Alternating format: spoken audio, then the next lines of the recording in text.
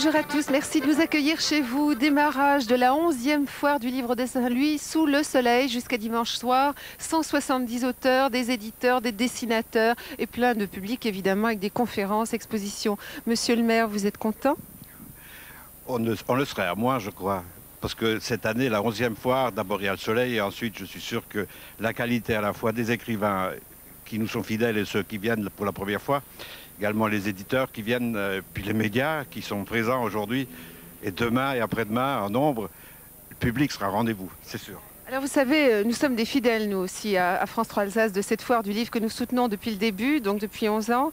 Et euh, d'habitude, on s'installait au milieu des auteurs, sous le chapiteau, etc. Là, j'ai souhaité qu'on s'installe dans un lieu qui fonctionne depuis l'automne dernier et qui est un lieu de rendez-vous pour les gens de Saint-Louis. Racontez-nous un peu euh, votre rêve, finalement, qui s'est concrétisé et qu'on a derrière nous, là. Nous avions une bibliothèque, puisque c'est l'équipe de la bibliothèque qui, la première fois, avait organisé il y a 11 ans la foire du livre, la première foire du livre.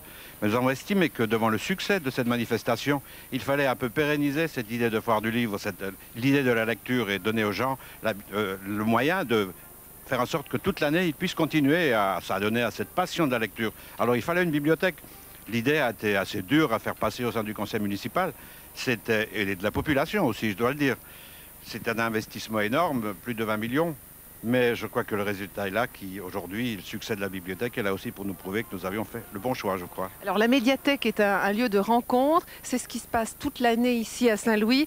Temps fort, foire du livre, avec euh, des conférences, plein d'auteurs qui viennent de Suisse, d'Allemagne et d'un peu partout en Europe.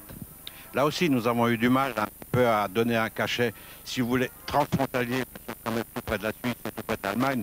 Et nous, je crois que c'était notre devoir et nous le voulions donner un cachet transfrontalier euh, et intéresser nos voisins suisses et allemands. Là aussi, euh, ça a été assez long, mais cette année, c'est vraiment le démarrage. Le discours, les discours sont prévus à 17h puisque l'inauguration officielle est fixée à cette heure-là. Plein d'auteurs sont déjà arrivés, ils seront dans notre émission évidemment. Et puis il y a des remises de prix. Il y a des remises de prix cette année puisque le club euh, Vrai, Madame Europe, a décidé de parrainer un prix scientifique. L'année dernière déjà, il parraine un prix scientifique qui sera remis par le professeur Israël, qui est président du jury, à une chercheuse, à une dame chercheuse, puisque ces dames remettent des prix aux auteurs et aux, chercheurs féminins. C'est donc Madame le docteur Oku qui aura la joie de se voir remettre un prix sur des travaux concernant la listériose. Et ensuite, il y aura également un prix qui sera attribué euh, à des auteurs régionaux, français, allemands, suisses, auteurs de nouvelles, c'est le prix Rollwagen, qui lui vient euh, carrément illustrer un petit peu la volonté transfrontalière de notre manifestation. Alors, il y aura des conférences sur le thème euh, scientifique cette année, sur le cancer, sur le rapport mère et enfant euh, pendant la grossesse, la possibilité d'interroger les auteurs, bien sûr, de regarder une exposition. Il y a un café littéraire, il y a un grand chapiteau place du marché, il y a la salle Sainte-Barbe, euh, bref, des lieux complètement à fréquenter jusqu'à dimanche soir.